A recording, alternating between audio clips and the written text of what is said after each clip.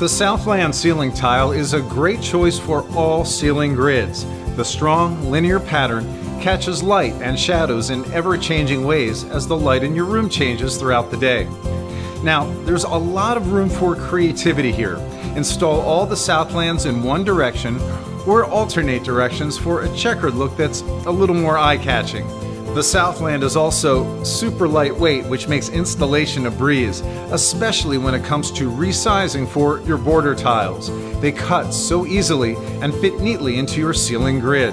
In fact, the Southland is also popular with our clients strictly as a border tile to complement the other tiles they've selected for the main portion of their ceiling.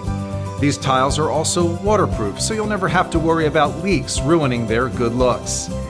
Once installed, you'll probably want to dress up that plain white ceiling grid with a little bit of color to match the Southland you've chosen.